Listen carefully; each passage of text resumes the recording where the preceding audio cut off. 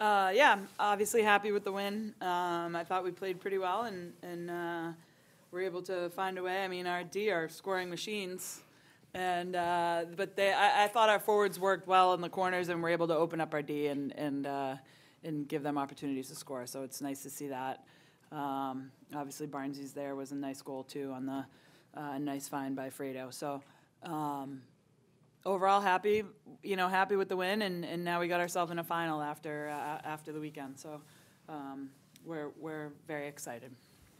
City, you put one behind the net. Would you see in that first shot that you took, and what's it feel like to score your first Beanpot goal? Uh, it was awesome. It was off a great forecheck from um, like Kelly Browne's line, and they really were working hard. And it was just a couple of rebounds, and I was like, "It's gonna come out. It's gonna come out." So I was creeping in, and I saw it, and I was just praying it didn't get blocked, and it made its way through. Caught Kelly Browne for the celebration, but it was awesome. Yeah. And Abbey, another strong performance, back-to-back shutouts. You've talked about being mission oriented this year. Is this a good phase one for your mission? Yeah, this is a good good start. Um, I think our team played absolutely phenomenal today. It was so much fun to watch behind them all. And um, they really helped me a lot today. And I got to say, they got the shutout more than I did, probably. Yeah. Um, having lost to them in such a close title game a year ago, coming to this game, was there any sense that this was a revenge game? Hundred percent.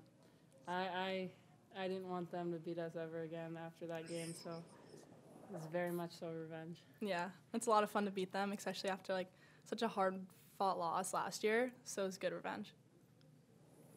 Just what does it mean to be back in a final now and have the chance to go up against uh, a Northeastern team that's red hot at the moment? Um, it's exciting. I think it's a good challenge for us, and we really want it this year. And uh, yeah, we're really looking forward to it.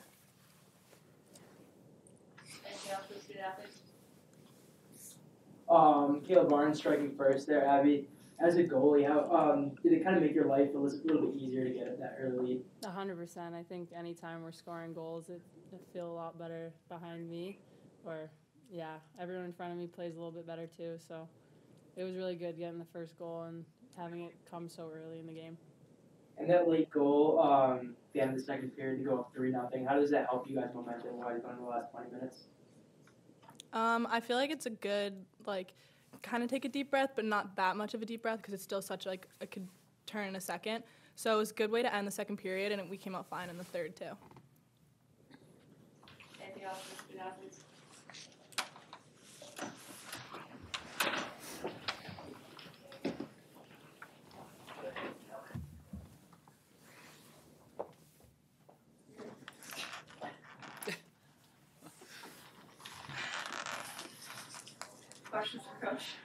Coach, your defensive pairs get a goal today. Fess, Barnes, and Clougherty. What's it mean to get different scoring from the D this time?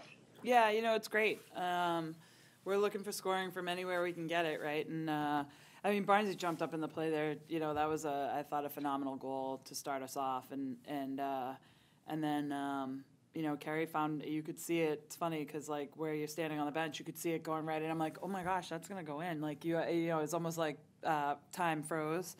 And then nice to get a power play goal. I mean, I know uh, they had a a five minute major there, but uh, I thought we had some good looks. But really nice to just pop one in, and and uh, our power play's been working so hard, and and uh, it's nice for them to get a little bit of a re- reward there On that penalty. Was that a conversation that the officials generated, or were you just kind of questioning like the two five versus? Yeah, uh, yeah. I just asked. Um, I I asked if what they saw there, um, and then they had a discussion on their own about. Uh, about if it was contact to the head, and I think as soon as you're questioning it, then then you should probably take a look at it. And I think they they made the right call there uh, from after I, I saw the play. So I do have to give credit to uh, up top.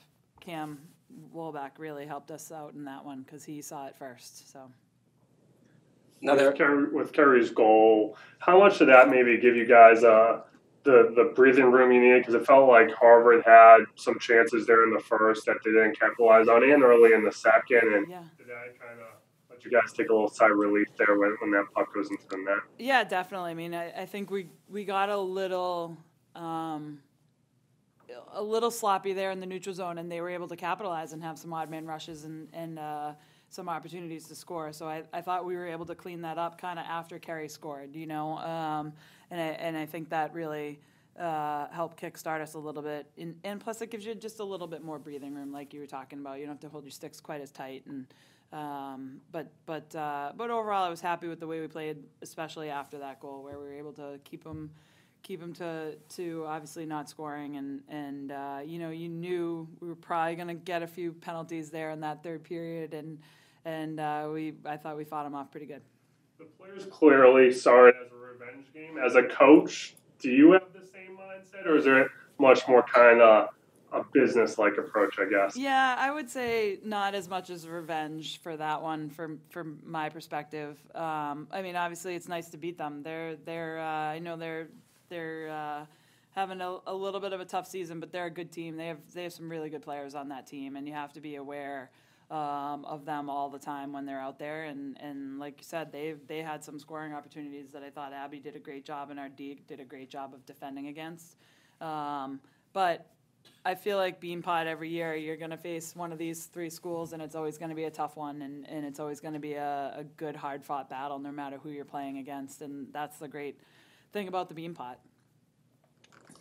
Thoughts on just facing Northeastern as well next week? Yeah, you know, we got to face BU first uh, on the weekend, so that's going to be our focus. But uh, obviously, Northeastern's uh, playing well. The last time we played them, it was a fantastic game, so I would expect nothing less for that game on Tuesday.